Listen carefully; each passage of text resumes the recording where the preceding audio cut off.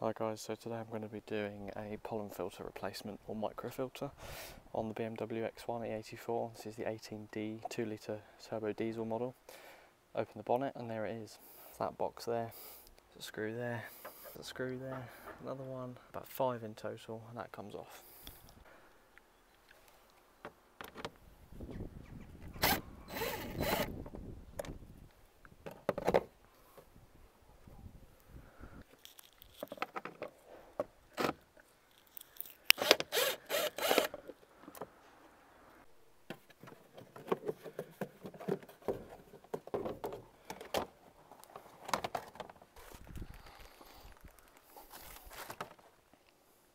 So it comes out by just taking these three clips off and out she pops.